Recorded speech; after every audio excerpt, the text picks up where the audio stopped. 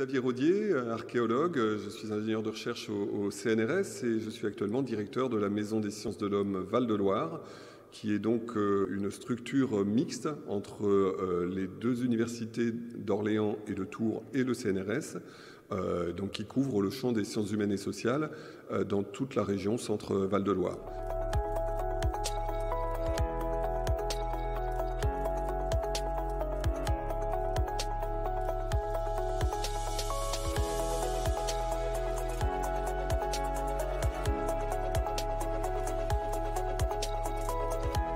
MSH a une vocation euh, d'ouverture à l'extérieur auprès de tous les publics, de diffusion de la recherche en sciences humaines et sociales euh, et plus largement d'interaction avec d'autres secteurs scientifiques comme euh, la santé, la biologie, l'informatique, dans une démarche que l'on appelle aujourd'hui la science avec et pour la société.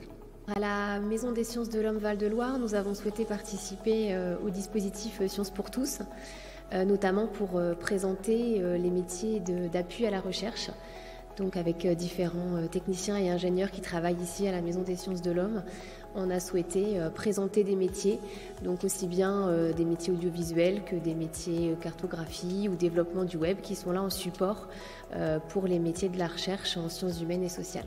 L'objectif c'est d'accueillir les, collégiens en petits groupes pour qu'il puisse y avoir de l'interaction avec, avec les collègues techniciens et ingénieurs euh, qui présentent donc à la fois leur métier et à la fois en quoi leur métier s'intègre euh, dans l'appui à la recherche en sciences humaines et sociales.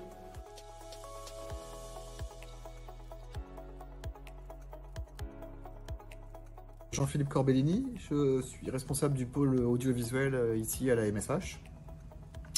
donc je m'occupe de toute la partie vidéo et drone. Donc c'est ça que j'ai essayé aujourd'hui de transmettre aux, élèves, en quoi le, support vidéo est aujourd'hui un, support indispensable pour diffuser euh, les connaissances et le savoir scientifique. Euh, la vidéo, c'est quand même aussi quelque chose qui est assez ludique, qui touche euh, toute cette jeune génération habituée à voir de, l'influenceur, etc. La deuxième partie de mon atelier, en fait, c'est l'utilisation du drone. en quoi, ici, le drone nous a servi dans des travaux de recherche spécifiques, autant sur les aspects photogrammétriques, c'est-à-dire la modélisation en 3D d'un bâtiment, euh, ou l'étude de paysage euh, par l'intermédiaire de, la vue aérienne, en quoi cet outil euh, peut apporter une solution scientifique. De manière simple, mon métier c'est faire des sites internet et faire des éditions de textes en ligne numérique. L'intitulé souvent c'est ingénieur en techno de l'infocom ou bien développeur web multimédia. Il faut avoir à la fois évidemment des compétences dans les domaines dans lesquels on travaille, dans les sciences humaines et sociales, et puis des compétences informatiques. Être capable de combiner les deux pour euh, traduire des, besoins scientifiques en moyens euh, techniques ou le contraire, euh, savoir quels sont les bons outils pour mener à bien une démarche scientifique. Clément Planck, suis euh, ingénieur informaticien, développeur web ici à la MSH et aussi au laboratoire CITER. Mon métier, c'est de faire des sites internet et de euh, produire des logiciels sur les données de mes collègues chercheurs. J'ai proposé un atelier ce matin qui se voulait ludique d'une approche de la, de la programmation autour du langage Python, euh, avec une première partie sur un site qui s'appelle Code Combat, qui reprend les codes du jeu vidéo de plateforme, où on doit déplacer un héros dans des, dans des niveaux, mais au lieu de le déplacer avec une manette ou des, les flèches d'un clavier, on le déplace avec des instructions euh, en langage de programmation. ça, ça a bien marché parce que c'est un univers qu'ils connaissaient déjà. Et euh, la deuxième partie de l'atelier, c'était sur le package Turtle, qui est utilisé à des fins aussi pédagogiques. Euh, c'est destiné à créer des graphiques, des formes géométriques en Python, donc ça leur, ça leur permettait de mobiliser ce qu'ils avaient appris en mathématiques, comme les propriétés d'un carré, quelque chose comme ça. M'appelle Dominique Andrieux, je suis ingénieur cartographe à la, à la MSH.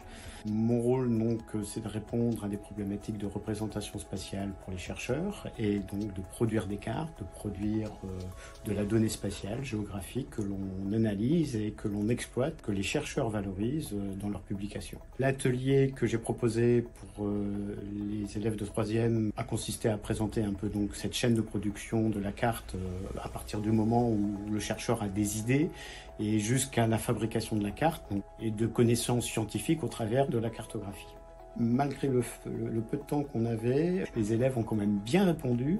Je leur avais donné deux sujets, euh, de nous représenter euh, soit leur environnement entre chez eux et le collège, soit un environnement imaginaire. Euh, ça pouvait être leurs vacances, ça pouvait être leur jeu vidéo favori. Les retours ont été très productifs. J'ai des choses qui, qui, ont été euh, super chouettes, euh, où, on sent bien qu'il hum, y a quelque chose de très personnel que les élèves ont mis euh, sur les cartes. Et c'est réellement ça. Ça débouche en fait sur un mouvement de la cartographie qu'on appelle la cartographie sensible, qui tend à mettre un peu d'émotion, un peu d'ambiance, un peu de, de vécu dans, au travers de, l'expression cartographique. Et ces ateliers en font partie.